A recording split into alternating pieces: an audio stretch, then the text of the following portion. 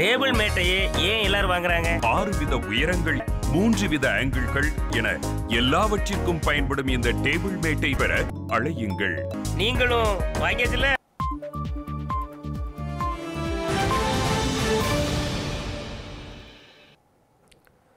வணக்கம். இது ஐபிசி தமிழின் செய்தி நேரம். முதலில் தலைப்புச் செய்திகள்.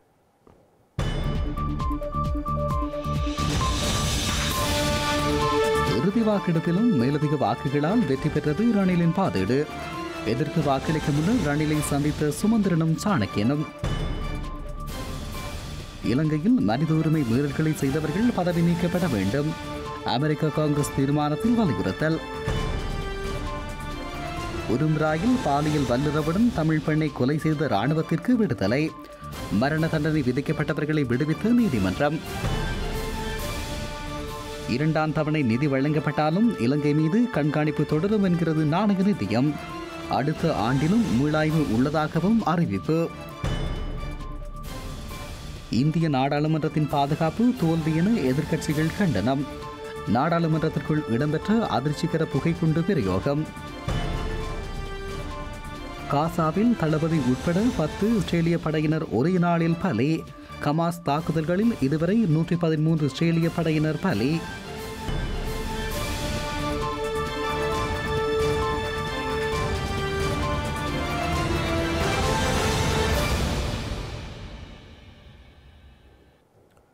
தொடர்வது விரிவான செய்திகள். இலங்கைக்கு அனைத்துலக நாணய நிதியத்தின் இரண்டாம் கட்ட தவணை நிதிக்கு அங்கீகாரம் கிட்டிய நிலையில் இன்று ஸ்ரீலங்கா நாடாளுமன்றத்தில் இரண்டாயிரத்தி இருபத்தி நான்காம் ஆண்டுக்கான வரவு செலவு திட்டம் மேலதிக வாக்குகளால் நிறைவேற்றப்பட்டது. தமிழ் தேசிய கூட்டமைப்பின் ஐந்து நாடாளுமன்ற உறுப்பினர்கள் ரணில் விக்ரமசிங்கவிற்கு ரகசியமாக ஆதரவு வழங்குவதாக தெரிவிக்கப்பட்ட நிலையில் இன்று இடம்பெற்ற வரவு செலவு திட்டம் மீதான வாக்கெடுப்பில் கூட்டமைப்பின் பல நாடாளுமன்ற உறுப்பினர்கள் பங்கெடுக்கவில்லை. எனினும் தமிழரசுக் கட்சியைச் சேர்ந்த மூன்று நாடாளுமன்ற உறுப்பினர்கள் வரவு செலவு திட்டத்துக்கு எதிராக வாக்களித்தனர். ஸ்ரீலங்கா அரசாங்கத்தின் இரண்டாயிரத்தி இருபத்தி நாலாம் ஆண்டுக்கான வரவு செலவு திட்டம் இன்று நாற்பத்தி ஒரு மேலதிக வாக்குகளினால் நாடாளுமன்றத்தில் நிறைவேற்றப்பட்டுள்ளது. இந்த வரவு செலவு திட்டத்துக்கு ஆதரவாக நூற்றி இருபத்தி ரெண்டு வாக்குகளும் எதிராக எண்பத்தி ஒரு வாக்குகளும் அளிக்கப்பட்டுள்ளதுடன் நடுநிலையாக ஒரு வாக்கு பதிவாகியுள்ளது. ஸ்ரீலங்கா பொதுஜன பெரமுனவின் நாடாளுமன்ற உறுப்பினர்களுடன் சுயாதீன நாடாளுமன்ற உறுப்பினராக தம்மை அறிவித்துக் கொண்ட அன்றோ பிரியதர்ஷன யாப்பாவும் வரவு செலவு திட்டத்துக்கு தனது ஆதரவை வழங்கியிருந்தார். ஈழ மக்கள் ஜனநாயக கட்சியின் உறுப்பினரும் அமைச்சருமான டக்ளஸ் தேவானந்தா மற்றும் குலசிங்கம் திலீபன் ஆகியோர் வரவு செலவு திட்டத்துக்கு ஆதரவாக வாக்களித்துள்ளனர். இந்த வாக்கெடுப்பில் தமிழ் மக்கள் தேசிய கூட்டணியின் நாடாளுமன்ற உறுப்பினர் சி. வி. விக்னேஸ்வரன் நடுநிலை வகித்துள்ளார். ஐக்கிய மக்கள் சக்தி தமிழ் முற்போக்கு கூட்டணி ஸ்ரீலங்கா முஸ்லிம் காங்கிரஸ் தேசிய மக்கள் சக்தி உறுப்பினர்கள் வரவு செலவு திட்டத்துக்கு எதிராக தமது வாக்குகளை பதிவு செய்துள்ளனர். தமிழ் தேசிய கூட்டமைப்பின் நாடாளுமன்ற உறுப்பினர்களான எம். ஏ. சுமந்திரன் சாணக்கியன் சிவஞானம் ஸ்ரீதரன் ஆகியோர் வரவு செலவு திட்டத்துக்கு எதிராக வாக்களித்தனர். அத்துடன் தமிழ் தேசிய கூட்டமைப்பின் ஏனைய நாடாளுமன்ற உறுப்பினர்களான செல்வம் அடைக்கலநாதன் சார்ல்ஸ் நிர்மலநாதன் தர்மலிங்கம் சித்தார்த்தன் வினோநோகரநாதலிங்கம் ஜனாயனப்படும் கோவிந்தன் கருணாகரம் கலையரசன் ஆகியோர் இன்று நாடாளுமன்றத்துக்கு வருகை தரவில்லை. தமிழ் தேசிய மக்கள் முன்னணியின் நாடாளுமன்ற உறுப்பினர்களான கஜேந்திரகுமார் பொன்னம்பலம் செல்வராசா கஜேந்திரன் ஆகியோர் வரவு செலவு திட்டத்துக்கு எதிராக வாக்களித்துள்ளனர். ஸ்ரீலங்காவின் ஜனாதிபதி ரணில் விக்ரமசிங்க தனக்கு வழங்கிய வாக்குறுதிகளை நிறைவேற்ற தவறியதன் காரணமாகவே வரவு செலவு திட்டத்திற்கு ஆதரவு வழங்குவதிலிருந்து விலகி நடுநிலை வகிப்பதற்கு தீர்மானித்ததாக தமிழ் மக்கள் தேசிய கூட்டணியின் நாடாளுமன்ற உறுப்பினர் சி வி விக்னேஸ்வரன் தெரிவித்தார். ஸ்ரீலங்கா நாடாளுமன்றத்தில் இடம்பெற்ற வரவு செலவு திட்டத்தின் மீதான வாக்கெடுப்பு தொடர்பாக மேற்கொள்ளப்பட்ட தீர்மானம் குறித்து ஐபிசி தமிழ் எழுப்பிய கேள்விக்கு பதிலளித்த போதே அவர் இவ்வாறு குறிப்பிட்டார். ஏற்கனவே ஜனாதிபதியுடன் பேசிய போது பல விடயங்களை அவர் செய்து தருவதாக கூறினார். அதன் காரணமாக நான் அவருக்கு சா- சார்பாக ஏற்கனவே என்னுடைய ஆதரவை தெரிவித்திருந்தேன். இப்- இப்பொழுது அவர் அண்மை காலமாக கூறி வந்தவற்றை அவர் செய்யாதிருப்பதால் என்னுடைய எதிர்ப்பை தெரிவிக்கும் முகமாக நான் இருபக்கத்துக்கும் சார்பில்லாமல் என்னுடைய வாக்கை அளித்தேன். அரசாங்கத்துக்கு நான் எதிரண்டில்லை அவர் செய்த செய்யாத செய்வதாக கூறி செய்யாத விடயத்தை பற்றி என்னுடைய எதிர்ப்பை காட்டுவதற்காக நான் இருபக்கம் சார்பில்லாமல் நடுநிலையாக வாக்களிப்போம் முன்னர் பதிமூணாவது திருத்த சட்டத்துல ஒரு கமிட்டியை அப்பாயின் பண்ணி அதை நியமித்து அந்த பதிமூணாவது திருத்த சட்டத்தில இருந்த பல விடயங்கள் மத்திய அரசாங்கத்தால கையேற்ற கையேற்கப்பட்டிருக்கின்றது. அவற்றை அடையாளம் கண்டு அவற்றை திரும்பவும் பதிமூன்றாவது திருத்த சட்டத்துக்கு உள்ளடக்கக்கூடியதாக நடவடிக்கைகள் எடுப்பதற்காக ஒரு குழு ஒன்று நியமிக்கப்பட்டது. அது குழு நியமிக்கப்பட்டு அவர்கள் தங்களுடைய வேலைகளையும் செய்து கொண்டு வரும்போது இன்று வரையில் அது கெசட் பண்ணாமல் இருக்கின்றது. அதை செய்யுமாறு கூறும்போது கூறிய போது செப்டம்பர் முதலாம் தேதி கட்டாயம் செய்வதாக கூறினார். அதற்கு பிறகு வெளிநாட்டுக்கு சென்றார். பிறகு அக்டோபர் முதலாம் தேதி சொன்னார். அதுவும் சரி வரவில்லை பிறகு நவம்பர்ல ஒன்றும் வரவில்லை இப்ப டிசம்பரும் வந்து முடிய போகுது. ஆகவே இவர் இழுத்தடிச்சு கொண்டிருக்கின்றாரோ அவர் அல்லது அவர் அதுக்கு எதிர்ப்போ என்னவென்று தெரியாது. ஆனால் எனக்கு தெரிந்த வரையிலே அவருடைய அரசாங்கத்துக்கு சார்பாக விளங்கும் எதிர்க்கட்சியினர் அதாவது எஸ்எல்பிபி ஆக்கள் ஒன்றும் த- தமிழர்களுக்கு கொடுக்கக்கூடாது என்ற முறையிலே அவர்களுடைய சிந்தனை செல்வதால் ஜனாதிபதி சற்று பாதீடு சம்பந்தமாக அவதானமாக செல்ல வேண்டும் என்பதற்காகத்தான் அப்படி செய்திருக்கிறார் போன்று தெரிகின்றது. ஒருவேளை இனி அவர் செய்யக்கூடும். எதற்கும் என்னுடைய எதிர்ப்பை தெரிவிக்கும் முகமாக நான் நடுநிலை வகித்தேன் இலங்கையில் மருதுரை முறைகளில் ஈடுபட்டதாக நம்பகமான குற்றச்சாட்டுகளுக்கு ஆளாகியுள்ளவர்களை பதவியிலிருந்து நீக்குவதை உறுதி செய்ய வேண்டும் என அமெரிக்க காங்கிரஸில் சமர்ப்பிக்கப்பட்ட தீர்மானத்தில் வலியுறுத்தப்பட்டுள்ளது. அத்துடன் உயிரிழந்த தமது உறவுகளை அமைதியாக நினைவு கூறுவதற்கும் அமைதியான முறையில் ஆர்ப்பாட்டத்தில் ஈடுபடுவதற்கும் சுதந்திரமாக ஒன்று கூடுவதற்கும் அனைத்து இளைஞர்களுக்கும் உள்ள உரிமையை ஸ்ரீலங்கா அரசாங்கம் பாதுகாப்பு படைகளும் மதிக்க வேண்டும் என அந்த தீர்மானத்தில் சுட்டிக்காட்டப்பட்டுள்ளது. ஸ்ரீலங்கா மக்கள் ஊழலை முடிவுக்கு கொண்டு வருதல் ஜனநாயகத்தை வலுப்படுத்துதல் மற்றும் நீதியை நிலைநாட்டுதல் ஆகியவற்றுக்கு எடுக்கும் முயற்சிகளுக்கு ஒத்துழைப்பு வழங்கும் வகையில் அமெரிக்க காங்கிரஸில் இருகட்சி தீர்மானம் ஒன்று முன்வைக்கப்பட்டுள்ளது. அமெரிக்க செனட் சபை உறுப்பினர் பென்கார்டின் அமெரிக்க செனட் சபையின் வெளிவிவகார குழுவின் உறுப்பினர் ஜிம்ஸ்டிக் காங்கிரஸ் உறுப்பினர்களான ராஜா கிருஷ்ணமூர்த்தி மற்றும் பில் ஜோன்சன் ஆகியோர் இந்த தீர்மானத்தை கொண்டு வந்துள்ளனர். ஸ்ரீலங்கா அரசாங்கம் ஆக்கப்பூர்வமான பாதுகாப்பு சீர்திருத்தத்தை முன்னெடுக்க வேண்டும் என்பதுடன் தமிழர் தாயக பகுதிகளான வடக்கு கிழக்கில் உள்ள பாதுகாப்பு படையினரை சமாதான காலத்துக்கு ஏற்ற வகையில் குறைக்க வேண்டும் எனவும் குறித்த தீர்மானத்தில் வலியுறுத்தப்பட்டுள்ளது. நோய் போல பரவியிருக்கும் ஊழல் மற்றும் தண்டனை விலக்களிப்பு ஆகியவற்றை முடிவுக்கு கொண்டு வருவதற்கான நடவடிக்கைகளை ஸ்ரீலங்கா அரசாங்கம் மேற்கொள்ள வேண்டும் எனவும் அமெரிக்க காங்கிரஸில் உள்ள இரண்டு கட்சிகளும் இணைந்து கொண்டு வந்த தீர்மானத்தில் சுட்டிக்காட்டப்பட்டுள்ளது. உள்ளூராட்சி தேர்தலை கால வரையறையின்றி பிற்போட்டதன் மூலம் நாட்டின் ஜனநாயகத்தை ஸ்ரீலங்கா அரசாங்கம் பலவீனப்படுத்தியுள்ளது எனவும் அந்த தீர்மானத்தில் தெரிவிக்கப்பட்டுள்ளது. நல்லாட்சியை பலப்படுத்துதல் சட்டவாட்சி ஊழல் நீதி பொறுப்புக்கூறல் மற்றும் மனித உரிமைகள் தொடர்பாக நடவடிக்கை எடுக்க வேண்டும் என தீர்மானத்தில் வலியுறுத்தப்பட்டுள்ளதாக ஜிம்ஸ்டிச் கூறியுள்ளார்.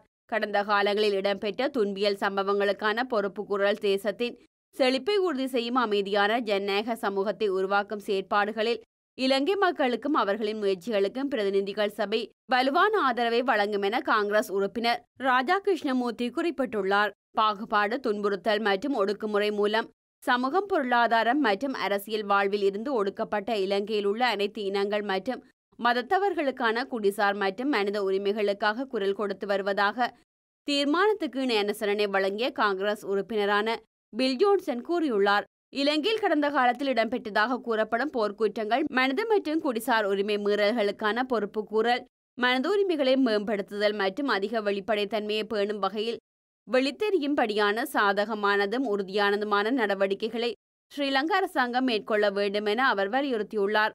அரசியல் பொருளாதார மற்றும் மனிதாபிமான நெருக்கடியை இலங்கை மக்கள் எதிர்கொண்டுள்ளனர் எனவும் அது அழிவுகரமான மனித தாக்கத்தை அவர்கள் மத்தியில் ஏற்படுத்தியுள்ளது எனவும் குறித்த தீர்மானத்தில் சுட்டிக்காட்டப்பட்டுள்ளது. இந்த நெருக்கடியானது அரசாங்கத்தின் ஊழல் நிதி முறைகேடுகள் சட்டத்தின் ஆட்சியில் தோல்விகள் மற்றும் சீன மக்கள் குடியரசுடன் தொடர்புடைய கொள்ளையடிக்கும் கடன் ஆகியவற்றால் மேலும் அதிகரிக்கின்றது எனவும் அந்த தீர்மானத்தில் குறிப்பிடப்பட்டுள்ளது. அமெரிக்க காங்கிரஸில் சமர்ப்பிக்கப்பட்ட இலங்கை தொடர்பான தீர்மானம் மீது கருத்து வெளியிட்ட வட கரோலினா மாநில குடியரசுக் கட்சியின் காங்கிரஸ் உறுப்பினர் டொன் டாவிஸ் அநீதி மற்றும் அடக்குமுறைகளுக்கு எதிரான போராட்டத்தில் ஈழத்தமிழ் மக்களுடன் தாம் துணை நிற்பதாக தெரிவித்துள்ளார். I stand with the Alam Tamil. அடக்குமுறை மற்றும் அநீதிக்கு எதிரான போராட்டத்தில் ஈழத்தமிழ் சமூகத்துடன் நான் துணை நிற்கிறேன். ஆங்கிலேயர் கடந்த ஆயிரத்தி தொள்ளாயிரத்தி நாற்பத்தி எட்டாம் ஆண்டு இலங்கையிலிருந்து வெளியேறியதைத் தொடர்ந்து சிங்களவர்களின் ஆதிக்கம் காரணமாக தமிழ் மக்கள் ஒதுக்கப்பட்டனர். தமிழ் மக்களின் சுயநிர்ணயத்தை பாதிக்கும் வகையில் இந்த நடவடிக்கை முன்னெடுக்கப்பட்டது. இதனையடுத்து அரச அனுசரணையுடன் தமிழ் மக்களுக்கு எதிரான வன்முறைகள் கட்டவிழ்த்து விடப்பட்டன. இது முப்பது வருட இன முரண்பாட்டுக்கு வழிவகுத்தது. இது இரண்டாயிரத்தி ஒன்பதாம் ஆண்டில் இன அழிப்பிற்கும் வித்திட்டது. ஐக்கிய நாடுகளின் மனித உரிமைகள் பேரவையின் பொறுப்பு குரலுக்கான முயற்சிக்கு மத்தியில் சீனாவின் ஆதரவுடன் இலங்கை அதிலிருந்து விலகிக் கொண்டது. இந்த நடவடிக்கை தமிழர்களுக்கான நீதியை மேலும் தடை செய்தது. அண்மையில் இலங்கையில் அமைதியான முறையில் முன்னெடுக்கப்பட்ட நிகழ்வில் பங்கேற்றவர்கள் பயங்கரவாத தடை சட்டத்தின் கீழ் கைது செய்யப்பட்டமை ஆழ்ந்த கவலை அளிக்கிறது. ஆகவே தமிழ் மக்களுக்கு எதிரான அடக்குமுறைகளை கண்டறிந்து அவை தொடர்பில் அதிக கவனம் செலுத்துமாறு காங்கிரஸ் உறுப்பினர்களிடம் நான் கேட்டுக்கொள்கிறேன். நிலைத்தன்மை மற்றும் சமாதானத்தை உறுதி செய்வதற்கான நிரந்தர தீர்வு வழங்கப்படுவதானது இந்தோ பசிபிக் பிராந்தியத்தின் முக்கியமான ஒன்றாக காணப்படுகிறது. ஜனநாயக மற்றும் மனித உரிமைகளுக்கான உறுதிப்பாடுகளுக்கு நாம் மதிக்க வேண்டும். மட்டக்களப்பு மயிலத்தமடு மாதவனை பண்ணையாளர்கள் எதிர்நோக்கும் பிரச்சினை மற்றும் கால்நடைகள் வெட்டிக்கொலை செய்யப்படுகின்றமை தொடர்பில் தமிழ் தேசிய கூட்டமைப்பின் நாடாளுமன்ற உறுப்பினர்களான எம். ஏ. சுமந்திரன் மற்றும் சாணக்கியன் ஆகியோர் ஸ்ரீலங்கா ஜனாதிபதியை சந்தித்து கலந்துரையாடினர். மக்கள் பிரச்சினைகளுக்கு தீர்வை பெற்றுக் கொடுப்பதற்கான அயராத முயற்சி தொடரும் எனவும் நாடாளுமன்ற உறுப்பினர் சாணக்கியன் இதன் போது தெரிவித்தார். ஸ்ரீலங்கா ஜனாதிபதி ரணில் விக்ரமசிங்கவுக்கும் வடக்கு கிழக்கு தமிழ் நாடாளுமன்ற உறுப்பினர்களுக்கும் இடையிலான சந்திப்பு ஒத்திவைக்கப்பட்ட நிலையில் தமிழ் தேசிய கூட்டமைப்பின் நாடாளுமன்ற உறுப்பினர்களான எம். ஏ. சுமந்திரன் மற்றும் இரா. சாணக்கியன் ஆகியோர் இன்று ஸ்ரீலங்கா ஜனாதிபதியை நாடாளுமன்ற கட்டிட தொகுதியில் வைத்து சந்தித்து கலந்துரையாடியுள்ளனர். இதன்போது மயிலத்தமடு மாதவனை பகுதியில் தொடர்ச்சியாக கால்நடைகளுக்கு இழைக்கப்படும் அநீதிகள் தொடர்பாக கிடைக்கப்பெற்ற புகைப்படங்கள் மற்றும் காவல்துறையினருக்கு வழங்கப்பட்ட முறைப்பாடுகளின் பிரதிகள் ஆகியவற்றை ஜனாதிபதியிடம் சமர்ப்பித்துள்ளதாக நாடாளுமன்ற உறுப்பினர் சாணக்கியன் தெரிவித்துள்ளார். அத்துடன் தொன்னூறு நாட்களாகவும் மயிலத்தமடு கால்நடை பணியாளர்கள் போராட்டத்தை தொடர்கின்றமை குறித்தும் ஜனாதிபதியின் கவனத்துக்கு கொண்டு சென்றதாக அவர் கூறினார். மயிலத்தமடு மாதவனை பிரச்சினை தொடர்பில் ஜனாதிபதி கூறிய எந்தவொரு விடயங்களும் இதுவரை செயற்படுத்தப்படவில்லை என்பதை அவருக்கு தெளிவுபடுத்தியதாகவும் அவர் கூறினார். மேலும் பயங்கரவாத தடுப்புச் சட்டத்தின் கீழ் மாவீரன் நாள் நினைவேந்தலில் பங்கேற்றவர்கள் கைது செய்யப்பட்டமை தொடர்பிலும் அவர்கள் பயங்கரவாத தடைச்சட்டம் இன்றி விடுதலை செய்யப்பட வேண்டும் எனவும் கோரிக்கை விடுத்ததாக சாணக்கியன் தெரிவித்துள்ளார். தமிழ் மக்களின் பிரச்சினைகளுக்கான தீர்வுகள் எதுவும் அரசாங்கத்தினால் முன்வைக்கப்படாத போதிலும் ஜனாதிபதி அமைச்சர்கள் ஆளுநர் ஆகியோரை சந்தித்து நீதிமன்றங்களை நாடியும் மக்களுக்கான தீர்வினை பெற்றுக் கொடுப்பதற்கான அயராத முயற்சி தொடரும் எனவும் அவர் கூறியுள்ளார்.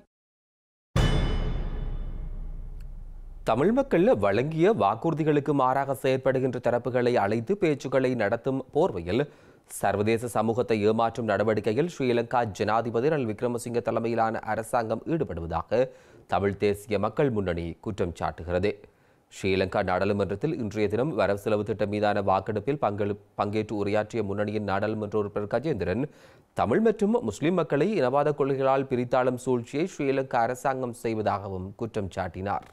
இதுவரைக்கும் இந்த நாட்டினுடைய புயோடி போயிருக்கின்ற இனப்பிரச்சனை தீர்ப்பதற்கு ஆக்கபூர்வமான நடவடிக்கைகள் எதுவும் எடுக்கப்படவில்லை. வெறும் கண்துடைப்பிற்காக வார்த்தைகளை மட்டும் பேசுவதும் தமிழ் மக்கள் வழங்கிய வாக்குறுதிகளுக்கு மாறாக செயல்படுகின்ற தரப்புகளை அழைத்து பேச்சுக்கள் என்ற போர்வையிலே பேச்சுவார்த்தைகளை நடத்தி சர்வதேச சமூகத்திற்கு முன்னாலே தாங்கள் தமிழ் தரப்போடு பேசி இந்த பிரச்சனைகளை தீர்ப்பதற்கு முயற்சிக்கிறோம். நாட்டை கட்டியெழுப்புவதற்கு தாங்கள் ஒன்றாக பயணிக்கிறோம் என்று காட்டி நிதியுதவிகளை பெற்று தன்னுடைய அரசாங்கத்தினுடைய தன்னுடைய செல்வாக்கை வளர்த்து எதிர்காலத்திலே ஆட்சி அதிகாரத்தை கைப்பற்றுவதற்கு வேண்டிய அடித்தளத்தை போடுவதும் இந்த இந்திய மேற்கு தரப்புகள் விரும்புகின்ற காரியங்களை நிறைவேற்றுவதன் மூலாக தன்னுடைய அந்த பதவி அதிகாரத்துக்கு வருவதை உறுதிப்படுத்திக் கொள்ள முடியும் என்ற அடிப்படையில் செயல்பாடுகள் முன்னெடுக்கப்படுகின்றதை தவிர எழுபத்தைந்து ஆண்டுகளாக புரியோடி போயிருக்கின்ற இந்த இனப்பிரச்சினையை தீர்ப்பதற்கான ஆக்கபூர்வமான நடவடிக்கைகள் எதுவும் எடுக்கப்படவில்லை. ஐஎம்ஏ போட்டிருக்கிற நிபந்தனைகளின் அடிப்படையிலே இந்த வெட் வரி விதிப்பு நேற்று முன்தினம் அவசர அவசரமாக வந்து நிறைவேற்றப்பட்டிருக்கின்றது. அஹ், இந்த அஹ், கூட நடுத்தர மக்களை பாதிக்கின்ற விதமாகத்தான் அமைந்திருக்கிறதே தவிர அந்த கோர்ப்பரேட் கம்பெனிகளுக்கு எந்த விதமான வரிகளும் விதிக்கப்படவில்லை. அந்த கம்பெனிகள் முழுமையாக பாதுகாக்கப்படுகின்றன. இந்த நாடாளுமன்றத்தில் இருக்கக்கூடிய பெரிய பெரும்பான்மையானவர்கள் அந்த கம்பெனிகள் ஊடாக நலன்களை பெறுகின்றவர்களாக இருக்கின்ற பொழுது இந்த நடுத்தர வருமானம் பெறுகின்ற மக்களை நசுக்குகின்ற விதமாகத்தான் இந்த வரி கொள்கையானது அமைந்திருக்கிறது. இந்த வரி கொள்கையினாலே நடுத்தர வர்க்கத்தைச் சேர்ந்த சிங்கள மக்களும் பாதிக்கப்படுகிறார்கள். தமிழ் மக்கள் மக்களும் பாதிக்கப்படுகின்றார்கள். ஆனால் அவ்வாறு பாதிக்கப்படுகின்ற நடுத்தர சமூகத்தைச் சேர்ந்த தமிழ் மக்களும் சிங்கள மக்களும் முஸ்லீம் மக்களும் ஓரணியாக திரண்டு இதற்கு எதிராக குரல் கொடுக்க முடியாத அளவுக்கு இந்த சமூகங்களை இனவாதத்தால் பிரித்து வைத்திருக்கிறார். இந்த உங்களுடைய இந்த ஆட்சியாளர்கள் மிக கட்டித்தனமாக நீங்கள் பிரித்து வைத்திருக்கிறீர்கள். தமிழ் மக்களும் சிங்கள மக்களும் ஒன்றுபடக்கூடிய ஒரு சூழல். இந்த நடுத்தர வர்க்கத்தைச் சேர்ந்த மக்கள் இந்த வரி விதிப்புகளால் இந்த பொருளாதார கொள்கைகளால் அவர்கள் ப- நசுக்கப்பட்டு பாதிக்கப்படுகின்ற பொழுது அவர்கள் விழிப்படைந்து ஒன்றுபட்டு இந்த அரசுக்கு எதிராக எழுச்சியடைய கூடாது என்பதற்காக இந்த இனவாதத்தையும் தமிழீழ விடுதலை புலிகளையும் நீங்கள் ஒரு கருவியாக பயன்படுத்தி பயங்கரவாதம் என்பதை ஒரு கருவியாக பயன்படுத்தி உங்களுடைய ஒட்டுக்குமுறையை நீங்கள் இவர்களுக்கு எதிராக நீங்கள் பய- கொண்டே இருக்கின்றீர்கள். யாழ்ப்பாணத்தில் யுவதியொருவரை கூட்டு பாலியல் வல்லுறவுக்குட்படுத்தி படுகொலை செய்த வழக்கில் மரண தண்டனை விதிக்கப்பட்ட இரண்டு ஸ்ரீலங்கா இராணுவத்தினரை மேன்முறையீட்டு நீதிமன்றம் விடுதலை செய்துள்ளது. அதே நேரம் மற்றொரு இராணுவ வீரரை மீண்டும் விசாரணைக்குட்படுத்துமாறும் நீதிமன்றம் உத்தரவிட்டது. யாழ்ப்பாணம் உரும்பிராயைச் சேர்ந்த இருபத்தி மூன்று வயதான ரஜினி வேலாயுதம் பிள்ளை ஆயிரத்தி தொள்ளாயிரத்து தொன்னூற்றி ஆறாம் ஆண்டு செப்டம்பர் மாதம் முப்பதாம் திகதி கோண்டாவில் சோதனை சாவடியில் வைத்து ஸ்ரீலங்கா ராணுவத்தினரால் கூட்டு பாலியல் வல்லுறவிற்கு உட்படுத்தப்பட்டு படுகொலை செய்யப்பட்டார். இந்த சம்பவத்துடன் தொடர்புடைய ஹேவா பிடிகே சரத் சந்திர மற்றும் ஹோப்ரல் ஹமகே ஹித்ஸ்ரீ ஆகிய இரு ராணுவத்தினருக்கும் மரண தண்டனை விதிக்கப்பட்டது. இந்நிலையில் குறித்த இரு ராணுவத்தினரை அனைத்து குற்றச்சாட்டுகளிலிருந்தும் விடுவிப்பதாக மேன்முறையீட்டு நீதிமன்றம் தீர்ப்பளித்துள்ளது. மேலும் மூன்றாவது பிரதிவாதியான கோப்ரல் ஹாமினி சமன் லேனகேவை மீண்டும் விசாரணைக்கு உட்படுத்த மேன்முறையீட்டு நீதிமன்றம் உத்தரவிட்டுள்ளமையும் குறிப்பிடத்தக்கது. ஸ்ரீலங்கா விமானப்படையின் எழுபத்தி மூன்றாவது ஆண்டு பூர்த்தி நிறைவு தினத்தை யாழ்ப்பாணத்தில் முதன்முறையாக கொண்டாட உள்ளமை தொடர்பில் வடமாகாண ஆளுநர் பி எஸ் எம் சார்ல்ஸிடம் விமானப்படை தளபதி ஏ மார்ஷல் உதயனி ராஜபக்ஷ தெளிவுபடுத்தினார். எதிர்வரும் இரண்டாயிரத்தி இருபத்தி நான்காம் ஆண்டு மார்ச் மாதம் இரண்டாம் திகதி ஸ்ரீலங்கா விமானப்படையின் எழுபத்தி மூன்றாவது ஆண்டு பூர்த்தி யாழ்ப்பாணத்தில் கொண்டாடப்பட உள்ளமை இன நல்லிணக்கத்துக்கும் ஒற்றுமைக்கும் வழிவகுக்கும் என வடமாகாண ஆளுநர் இதன்போது தெரிவித்தார். யாழ்ப்பாணத்திலுள்ள வடமாகாண ஆளுநரின் உத்தியோகபூர்வ வாசஸ்தலத்தில் ஸ்ரீலங்கா விமானப்படையின் படைத்தளபதி உள்ளிட்ட உயர்மட்ட அதிகாரிகள் ஆளுநர் பி எஸ் எம் சார்ல்ஸை இன்று சந்தித்து கலந்துரையாடியுள்ளனர்.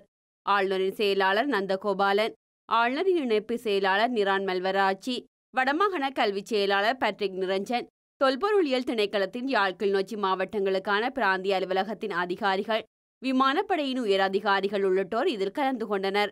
இதன்போது ஸ்ரீலங்கா விமானப்படையின் எழுபத்தி மூன்றாவது ஆண்டு பூர்த்தியை யாழ்ப்பாணத்தில் கொண்டாடுவதற்குரிய திட்டங்கள் அதற்கு தேவையான வளப்பகிர்வு விமானப்படையினரால் ஏற்பாடு செய்யப்படும் போட்டிகள் இசை நிகழ்ச்சிகள் உள்ளிட்ட பல விடயங்கள் தொடர்பில் கலந்துரையாடப்பட்டது. அத்துடன் யாழ் பல்கலைக்கழகத்தின் பொறியியல் பீடத்திற்காக எரிவாயு விசையாழி விமான இயந்திரங்களை வழங்கவுள்ளதாகவும் பல்கலைக்கழக மாணவர்களுக்கான கற்றல் உதவிகளை பெற்றுக் கொடுக்க உள்ளதாகவும் ஸ்ரீலங்கா விமானப்படையின் படைத்தளபதி air marshal Udayani Rajapaksa தெரிவித்தார். அத்துடன் யாழ் மாவட்டத்தில் உள்ள எழுபத்தி மூன்று பாடசாலைகளை புனரமைக்கவும் திட்டமிடப்பட்டுள்ளதாக அவர் குறிப்பிட்டார். மேலும் எழுபத்தி மூவாயிரம் தமிழ் மற்றும் ஆங்கில மொழி புத்தகங்களை வழங்கவும் திட்டமிடப்பட்டுள்ளதாக அவர் ஆளுநரிடம் தெரிவித்தார். இதேவேளை மருத்துவ முகாம் பற்சிகிச்சை முகாம் கண் சிகிச்சை முகாம் உள்ளிட்ட பல திட்டங்களை முன்னெடுக்க உள்ளதாகவும் சைக்கிள் ஓட்ட போட்டி கல்வி கண்காட்சி மாலை நேர இசை நிகழ்ச்சி என்பவற்றை நடத்தவும் எதிர்பார்ப்பதாகவும் தெரிவித்தார். இதனை கேட்டறிந்த வடமாகாண ஆளுநர் இன நல்லிணக்கத்துக்கும் ஒற்றுமைக்கும் இந்த செயற்பாடுகள் வழிவகுக்கும் என கூறினார். பாடசாலைகளின் புனரமைப்பின் போது கழிவறை மற்றும் குடிநீர் வசதி தொடர்பில் அதிக கவனம் செலுத்த வேண்டும் எனவும் ஆளுநர் தெரிவித்தார். பல்கலைக்கழக மாணவர்களுக்கான தொழில்சார் பயிற்சிகளை வழங்கவும் நடவடிக்கை மேற்கொள்ளுமாறு குறிப்பிட்டார். அத்துடன் முப்படைகளின் செயற்பாடுகள் படைத்தளங்கள் குறித்து கல்வி சுற்றுலாக்கள் ஊடாக மாணவர்களை தெளிவுபடுத்த நடவடிக்கை எடுக்க வேண்டும் என்றும் அவர் வலியுறுத்தினார். இலங்கைக்கு பயணம் செய்துள்ள உலகத் தமிழ் பேரவினர் முன்னெடுக்கும் நடவடிக்கைகளுக்கு தமிழ் தேசிய கூட்டமைப்பு ஆதரவு வழங்குகின்றமை தொடர்பில் தமிழ் தேசிய மக்கள் முன்னணி கண்டனம் வெளியிட்டுள்ளது. பேரவையுடனான சந்திப்பை தமது கட்சி நிராகரித்தமை தொடர்பான காரணத்தை வெளியிட்ட போதிலும் கூட்டமைப்பு குறித்த நடவடிக்கையை முன்னெடுத்து இரு தரப்பிற்கும் இடையிலான உறவை வெளிக்காட்டியுள்ளதாக இன்று நடைபெற்ற ஊடக சந்திப்பில் கட்சியின் தலைவர் கஜேந்திரகுமார் பொன்னம்பலம் தெரிவித்தார்.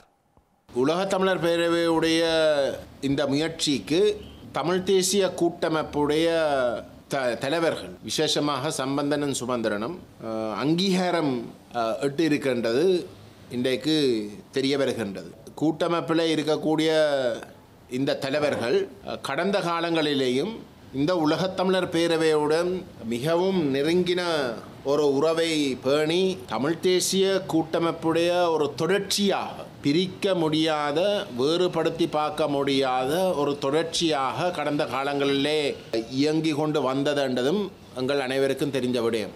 இன்றைக்கு கூட்டமைப்புடைய மூத்த தலைவர்களாக இருக்கக்கூடிய சம்பந்தன் அவருடைய அவருக்கு ஒரு விசுவாசமாக இருக்கக்கூடிய சுபந்திரன் சாணக்கியன் போன்றவர்கள் இந்த சந்திப்புக்கு கலந்து கொண்டு அதை பாராட்டியும் இருக்கின்றார். இப்போ இன்றைக்கு எங்களுக்கு ஒன்று மிக தெளிவாக விளங்குது.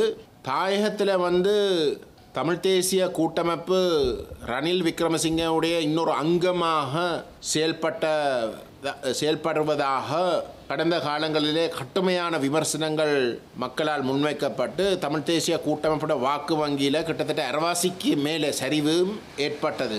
ரெண்டாயிரத்தி இருபதாம் ஆண்டு பாராளுமன்ற தேர்தல். இன்றைக்கு அந்த நிலைமை இன்னும் மோசமாக விழுந்து கொண்டிருக்கின்ற நிலையிலே வரப்போகிற இருபத்தி நாலாம் ஆண்டு ஒரு பாராளுமன்ற தேர்தலும் நடைபெற இருக்கின்ற சந்தர்ப்பத்தில் அந்த தேர்தலில் வந்து இதுவரைக்கும் காணாத அளவுக்கு ஒரு சரிவு தமிழ் தேசிய கூட்டமைப்புக்கு ஏற்படும் என்ற அந்த உண்மையான நிலைமை விளங்கி கொண்டு இன்றைக்கு தாயகத்தில் வந்து அவர்கள் ஒரு நல்ல பிள்ளைக்கு நடிக்கிறதுக்குரிய முயற்சியை மேற்கொள்ள பார்க்கிறார்கள்.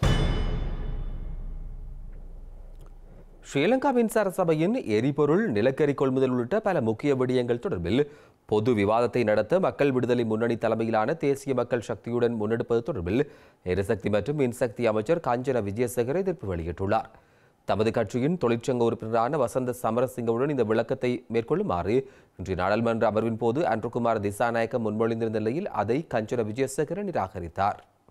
ஸ்ரீலங்கா மின்சார சபையின் எரிபொருள் நிலக்கரி கொள்முதல் உள்ளிட்ட பல முக்கிய விடயங்கள் தொடர்பில் மக்கள் விடுதலை முன்னணி தலைமையிலான தேசிய மக்கள் சக்தியின் தலைவர் அன்ரகுமார திசாநாயக்க நேற்றைய தினம் நாடாளுமன்றத்தில் கருத்து வெளியிட்டிருந்தார்.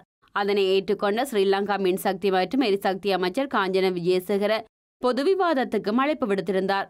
இந்த நிலையில் பொது விவாதத்துக்கு தேசிய மக்கள் சக்தி தயாரென இன்று நாடாளுமன்றத்தில் அனுரகுமார திசாநாயக்க தெரிவித்தார். ஸ்ரீலங்கா மின்சார சபை தொடர்பிலான விடயங்களை யார் முன்வைப்பது என்பது குறித்து நாம் கலந்துரையாடுவோம். இதற்கு முன்னதாக தமது கட்சியின் தொழிற்சங்க உறுப்பினரான வசந்த சமரசிங்க தொடர்பில் ஸ்ரீலங்கா மின்சக்தி மற்றும் எரிசக்தி அமைச்சர் கருத்து வெளியிட்டிருந்தார். இந்த நிலையில் அவருடன் பேச்சுக்களை முன்னெடுக்க வசந்த சமரசிங்க தயாராக இருக்கிறார். ஸ்ரீலங்கா மின்சார சபை எரிபொருள் நிலக்கரி கொள்முதல் உள்ளிட்ட அனைத்து முக்கிய விடயங்கள் தொடர்பிலும் விவாதிக்க அவர் தயாராக இருக்கிறார். இந்த நிலையில் அனுரகுமார திசாநாயக்கவின் இந்த யோசனையை தாம் நிராகரிப்பதாகவும் தொழிற்சங்க உறுப்பினர் ஒருவருடன் விவாதிக்க வேண்டிய தேவை தமக்கு இல்லை எனவும் ஸ்ரீலங்கா மின்சக்தி அமைச்சர் காஞ்சன விஜயசேகர தெரிவித்துள்ளார். நான் நேற்றைய தினம் முன்வைத்த சவாலை அனுரகுமார திசாநாயக்க ஏற்றுக்கொண்டுள்ளதாக கொழும்பு ஊடகம் ஒன்று செய்தி வெளியிட்டுள்ளது. இந்த செய்திக்கு ஏற்ப அவர் குறித்த விவாதத்திற்கு ஆயத்தமானால் நானும் அதற்கு ஆயத்தமாக இருக்கிறேன். எனினும் அவரது கட்சி இந்த விவாதத்துக்கு ஆயத்தமாக இருக்கிறதா என்று அனுரகுமார திசாநாயக்க தெரிவித்தார். அவரது கட்சி சார்பில் வசந்த சமரசிங்க முன்னிலையாவார் என அனுரகுமார திசாநாயக்க தெரிவித்துள்ளார். இந்த நிலையில் அவருக்கு பதிலாக மற்றொருவர் முன்னிலையாவதைப் போல் குறித்த விவாதத்திற்கு நானும் எனக்காக மற்றொருவரை முன்வைப்பேன். இலங்கையில் நடைபெறவுள்ள ஜனாதிபதி தேர்தலில் அனுரகுமார திசாநாயக்க பங்கேற்பதாக தெரிவித்திருந்தார். எனினும் அவருக்கு பதிலாக மற்றொருவரை அவர் வேட்பாளராக முன்வைப்பார் என நான் நினைக்கிறேன். இலங்கையில் அடுத்து நடைபெறவுள்ள ஜனாதிபதி தேர்தலில் மக்கள் விடுதலை முன்னணி தலைமையிலான தேசிய மக்கள் சக்தியின் தலைவர் அன்றுகுமார திசாநாயக்க வெற்றி பெறுவார் என கட்சியின் முன்னாள் நாடாளுமன்ற உறுப்பினர் சுனில் ஹந்துனத்தி நம்பிக்கை வெளியிட்டார். தற்போது பாரியளவில் மக்கள் ஆதரவு தமது கட்சிக்கு இருப்பதாகவும் இதன் அடிப்படையில் தமது கட்சி அடுத்து நடைபெறும் தேர்தல்களில் வெற்றி பெறும் என கொழும்பு ஊடகம் ஒன்றுக்கு வழங்கிய நேர்காணலில் சுனில் ஹந்துனத்தி தெரிவித்தார்.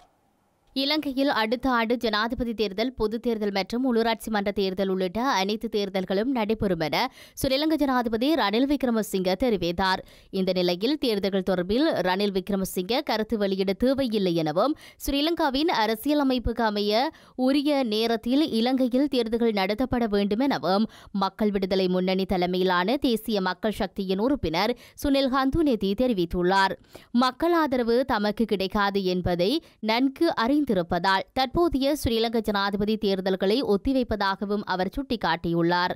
அத்துடன் ஸ்ரீலங்கா நாடாளுமன்றத்தை ஒத்திவைப்பது அல்லது கலைப்பதற்கு தற்போது நாடாளுமன்றத்தில் உள்ள எந்தவொரு அரசியல்வாதியும் ஆதரவளிக்க மாட்டார்கள் என அவர் குறிப்பிட்டுள்ளார். மேலும் ஜனாதிபதி தேர்தல் தொடர்பில் வெளியாகியுள்ள தகவல்களின் அடிப்படையில் அடுத்த ஆண்டு நடைபெறவுள்ள தேர்தலில் தமது கட்சியின் தலைவர் அனிருகுமார் திசாநாயக்க வெற்றி பெறுவார் என சுனில் நேத்தி மேலும் தெரிவித்துள்ளார். இலங்கையில் சர்ச்சைக்குரிய மதபோதகர் ஜெரோம் பினாண்டோவை எதிர்வரும் இருபத்தேழாம் தேதி வரை விளக்கமறியல் வைக்குமாறு கொழும்பு கோட்டை நீதிவான் நீ திலினகமகி உத்தரவிட்டுள்ளார். இலங்கையின் மத சுதந்திரத்தை பாதிக்கும் வகையில் கருத்து வெளியிட்ட போதகர் எரோம் பெர்னாண்டோ கடந்த மாதம் இருபத்தி ஒன்பதாம் திகதி நாடு திரும்பியிருந்தார். ஸ்ரீலங்கா குற்றப்புலனாய்வு பிரிவில் வாக்குமூலம் பதிவு செய்ய அவர் சென்றிருந்த நிலையில் ஸ்ரீலங்கா குற்றப்புலனாய்வு பிரிவினரால் கைது செய்யப்பட்டிருந்தார். இதனைத் தொடர்ந்து அவர் நீதிமன்றில் முன்னிலைப்படுத்தப்பட்டதை அடுத்து இன்று வரை விளக்கமறியலில் வைக்குமாறு நீதவான் உத்தரவிட்டிருந்தார். இந்த நிலையில் எரோம் பெர்னாண்டோ தொடர்பான வழக்கு இன்று கோட்டை நீதவான் திலின கமக்கை முன்னிலையில் விசாரணைக்கு எடுத்துக் கொள்ளப்பட்டது. இதனையடுத்து அவரை எதிர்வரும் இருபத்தி ஏழாம் தேதி வரை விளக்கமறியலில் வைக்குமாறு கோட்டை நீதவான் திலின கமகே இன்று உத்தரவிட்டுள்ளார். மேலும் சில உள்ளூர் செய்திகள் தொடர்கின்றன.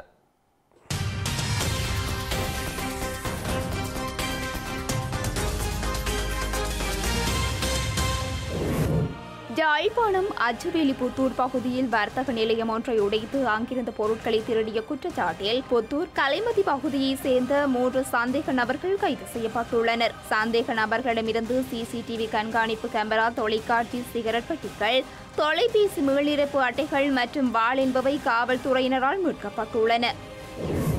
ஹட்டன் கைலன்ஸ் கல்லூரிக்காக ஒதுக்கப்பட்ட காணியை அபகரிப்பதற்கு முன்னெடுக்கப்பட்ட நடவடிக்கை இலங்கை தொழிலாளர் காங்கிரசின் பொதுச் செயலாளரும் அமைச்சருமான ஜீவன் தொண்டமானின் தலையீட்டை அடுத்து தடுத்து நிறுத்தப்பட்டுள்ளது. காணியில் கட்டப்பட்டிருந்த தற்காலிக கட்டடமும் அகற்றப்பட்டுள்ளது. இனிமேல் காணியை ஆக்கிரமிக்க முற்பட்டால் சட்ட நடவடிக்கை எடுக்கப்படும் எனவும் எச்சரிக்கையும் விடுவிக்கப்பட்டுள்ளது. ஹட்டன் பிளான்டேசனின் நிர்வாகத்திற்குட்பட்ட பகுதியில் அமைந்துள்ள குறித்த காணியை பாடசாலைக்கு வழங்குவதற்கு ஏற்கனவே கொள்கை ரீதியில் முடிவெடுக்கப்பட்டிருந்தமை குறிப்பிடத்தக்கது. இரண்டாயிரத்து இருபத்தி மூன்றாம் ஆண்டிற்கான சர்வதேச மனித உரிமைகள் தின நிகழ்வினை சிறப்பிக்கும் முகமாக இலங்கை மனித உரிமைகள் ஆணைக்குழுவின் யாழ்ப்பாண பிராந்திய காரியாலயமானது கலந்துரையாடல் ஒன்றை நடத்தியுள்ளது. இந்த கலந்துரையாடல் கலைத்தூது அழகியல் கல்லூரியில் நடத்தப்பட்டுள்ளது. இலங்கை மனித உரிமைகள் ஆணைக்குழுவினால் தயாரிக்கப்பட்டுள்ள மனித உரிமை பாதுகாவலர்களுக்கான வழிகாட்டல் தொடர்பில் கலந்துரையாடல் ஒன்றும் இடம்பெற்றுள்ளது செய்திகளின் நிறைவாக மீண்டும் தலைப்புச் செய்திகள்.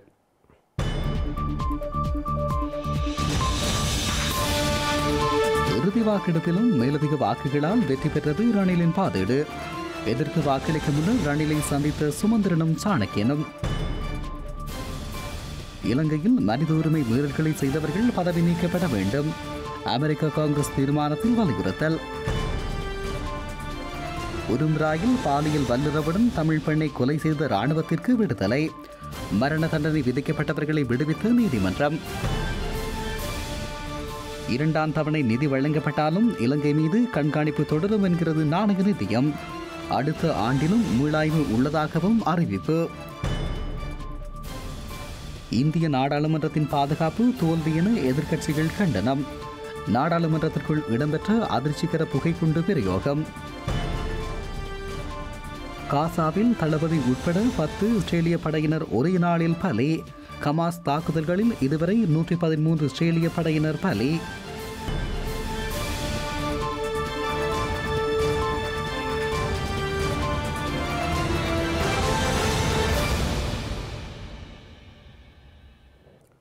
இத்துடன் ஐபிசி தமிழின் செய்தி நேரம் நிறைவடைகிறது. உடனுக்குடன் செய்திகளை அறிந்து கொள்ள ஐபிசி தமிழ் டாட் காம் என்ற இணையதளத்தை பார்வையிடுங்கள். வணக்கம்.